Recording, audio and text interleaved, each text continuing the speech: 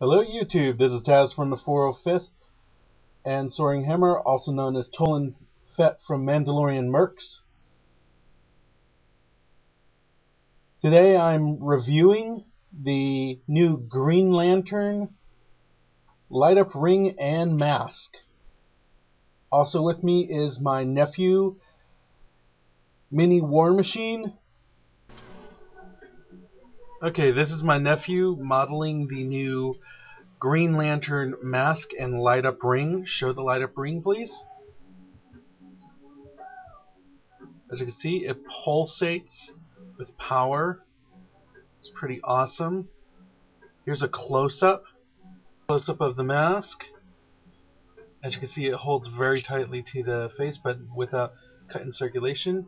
And here is the and here is the ring. As you can see, it's very well detailed. And when you hit the jewel in the center here it pulsates. It's pretty awesome.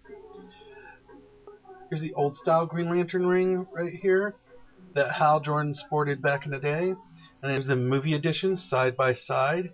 As you can see there's many differences between the movie version and the classic version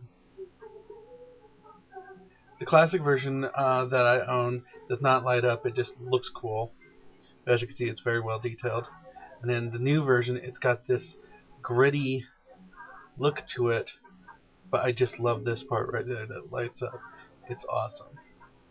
The only thing I don't like about this ring is when you go to change the batteries, you have to actually separate the circuit board from the ring.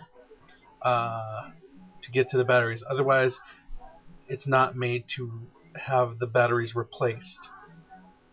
That's the only drawback. But otherwise, it's nearly movie accurate, looks awesome, and lights up very cool. This is Taz and Mini War Machine saying if we can do it, so can you.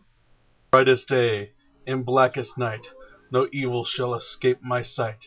Let, let those who worship evil's might beware my power, Green Lantern's light.